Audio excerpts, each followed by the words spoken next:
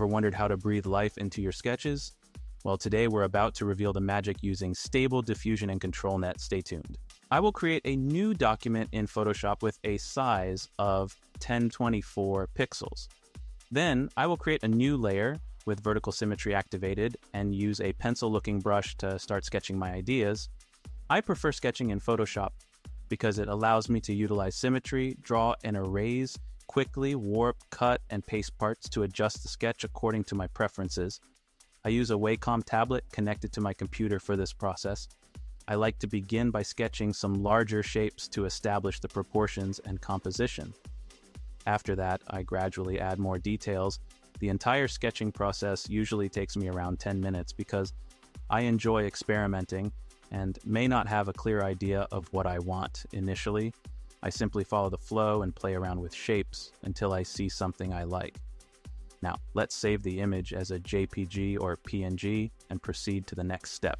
I'm using Automatic 1111, which is installed on Windows. For the checkpoint, I'm using an SDXL model called Juggernaut XL, which you can download from the Civit AI website. It is currently on version 6 and the size on disk is approximately 6 gigabytes. To use it, you will need to place it in your Stable Diffusion folder by navigating to the Web UI folder then models, and finally stable diffusion. I'm also utilizing two additional extensions in this video.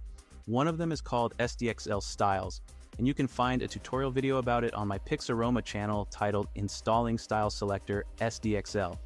This extension enables me to quickly experiment with different artistic styles. The most crucial extension for this process is ControlNet. I've already provided instructions on how to install it in my previous video, transforming sketches into vibrant art. I asked ChatGPT to provide me with some prompt ideas based on the description I gave it. In my description, I included details on how I wanted my final illustration to look. First, I'll copy the initial prompt and see what results we obtain. I'm using a text to image method and I paste the prompt. I'll also specify the settings for sampling method, steps and size, uh, 1024 pixels, for the artistic style, I'll choose a fantasy art style. Uh, moving on to ControlNet, I'll upload my sketch and check the Enable and Pixel Perfect options. I'll select Canny as the control type, and the preprocessor will also be Canny. As for the model, I'll use Kohya Control Light XL. After setting these parameters, I'll hit the Generate button, and within seconds, we'll have our first results. While the initial illustration looks good, I'll click Generate a few more times to see how it varies with different seeds. When I find one I like, I'll aim for a larger version of it. To do this, I'll use the same seed and activate Hires Fix. For the model, I'll switch to 4x Ultra Sharp and set the denoise strength to 0.45. Then I'll generate a larger image with a resolution of 2048 pixels.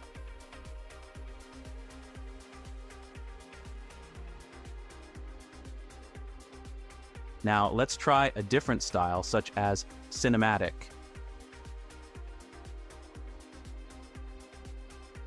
which adds a more photorealistic touch. I'll use a random seed again and deactivate Hires Fix. You can see how it starts to resemble a movie scene. I'll experiment with a few more prompts. Different seeds will produce diverse results. So if you're unsure about what you want, you can keep generating until you find something you like. You can also experiment with negative prompts, assign weights to words that are crucial to your vision, or edit the prompt to guide the output towards your desired outcome.